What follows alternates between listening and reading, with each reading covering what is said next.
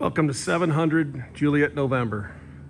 This has to be the nicest, cleanest 700 TBM on the planet.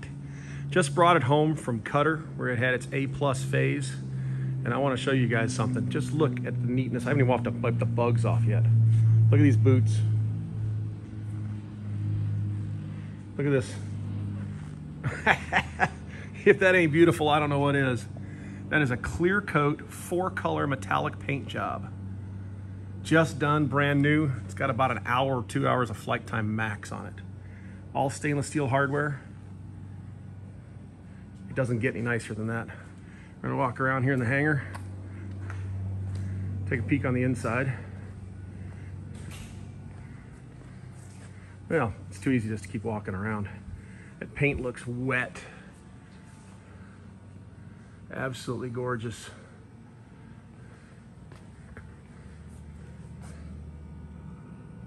Here's your data plate, serial number 89. There is nothing in this vintage that looks this good. It's actually just beautiful. We take you inside. It's got new leather seats. They're all redone by Aviation X in Houston. Kind of a butter, a butter leather.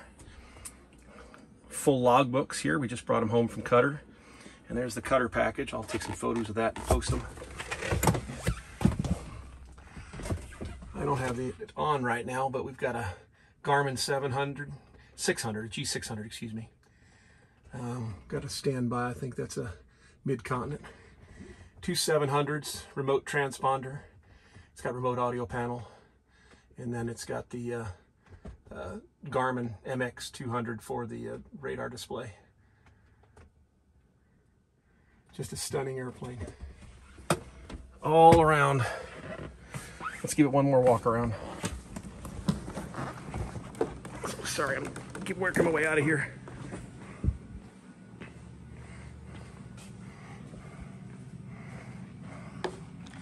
There's the side of the airplane, if you can believe that. Unbelievable. Just look at it. It's unbelievable. Anyway, good machine, good airplane. It's gonna make somebody a 285 knot true airspeed cruiser for sure. But uh, prop just overhauled. Uh, did the blades in black, not gray. Make it look cool. Definitely nice machine.